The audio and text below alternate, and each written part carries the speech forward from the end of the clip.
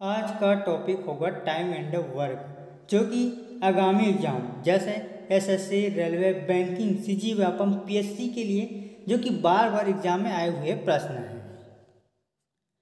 जो लोग व्यापम की तैयारी कर रहे हैं, जैसे छात्रावास अधीक्षक, सब इंस्पेक्टर साथ ही प्यून भर्ती की, उसके लिए काफ़ी इंपॉर्टेंट है मैथ्स से वहाँ से प्रश्न बनेंगे। तो चलिए जल्दी से वीडियो को स्टार्ट करते हैं। और जो लोग चैनल पर पहली बार आए हैं तो वीडियो को सब्सक्राइब करके रख लीजिएगा, ठीक है? लेटेस्ट टाइम पर लेटेस्ट वीडियो अपलोड की जाती है, ओके?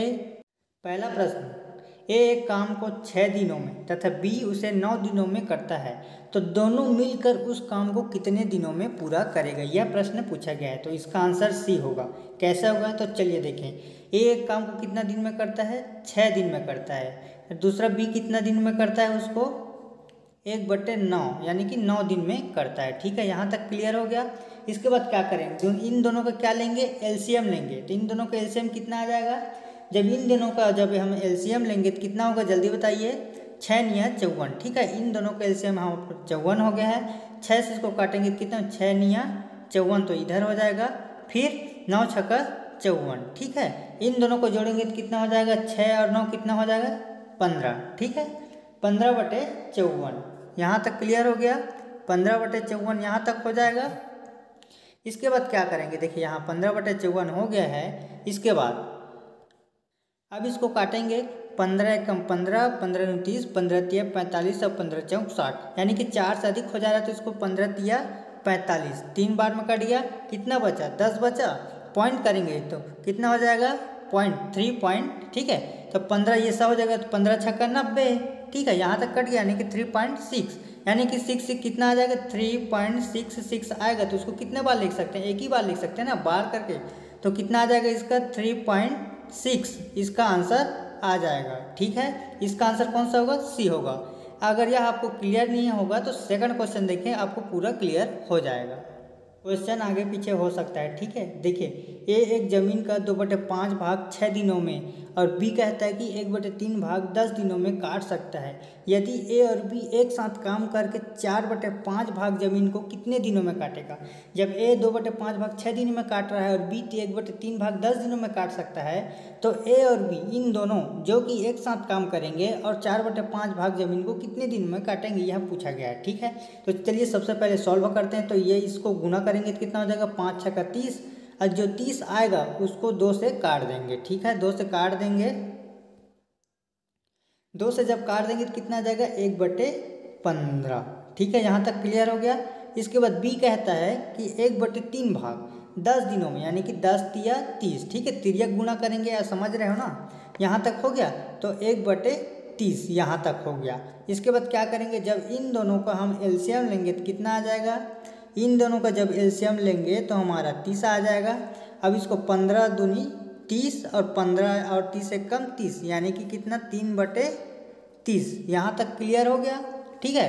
अब देखिए, अब चार बटे पाँच, यानी कि एक साथ काम करेंगे तो कितना था हमारे पास? सबसे पहले देखिए यहाँ पर।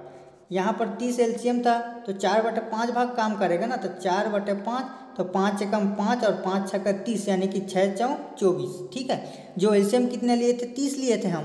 तो चौबीस, तीस में चौबीस को क्या करेंगे? तीस में चौबीस को क्या करेंगे? जल्दी बताइए। जो तीस लिए थे, इसके स्थान पर क्या करेंगे? जो चौबीस आया था, उसको इसके स्थान पर रखेंगे, ठीक है? जो इसका आंसर आया है, उसको किसके स्थान पर रखेंगे? इसके स्थान पर, ठीक है? इसके स्थान पर हम रखेंगे। तो यहाँ रख लेते हैं। इसके स्थान पर चौबीस रखेगा। ठीक है तो तीन अट्ठे चौबीस। तो इसका आंसर कौन सा आ जाएगा? आठ। तो इसका आंसर सी होगा। ठीक है? चलिए, नेक्स्ट क्वेश्चन देखते हैं। तीसरा क्वेश्चन कहता है कि ए एक काम को पंद्रह दिन में तथा बी इसको बीस दिन में कर सकता है।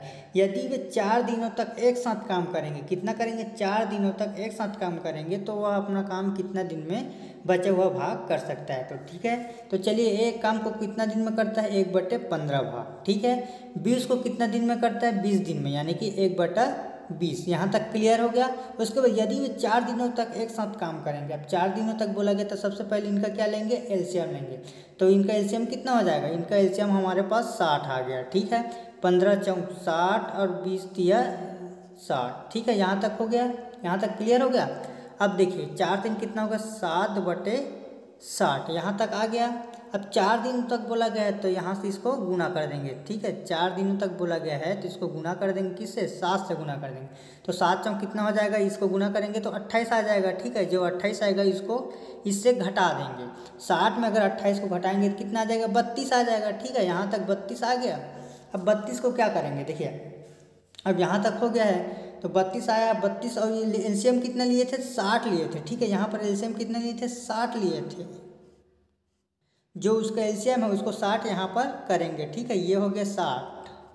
अब साठ यहाँ पर हो गया, अब इसको काटेंगे तो कितना हो जाएगा? चार अट्ठे बत्तीस। और इसको काटेंगे तो कितना आ जाएगा? पंद्रह चौक साठ। यानी कि इसका आंसर कितना हो जाएगा? आठ बटे पंद्रह हो जाएगा। ठीक है, अगर यह वीडियो आपको अच्छा लगता है तो लाइक और सब्सक्राइब करके रख लीजिएगा। Thank you.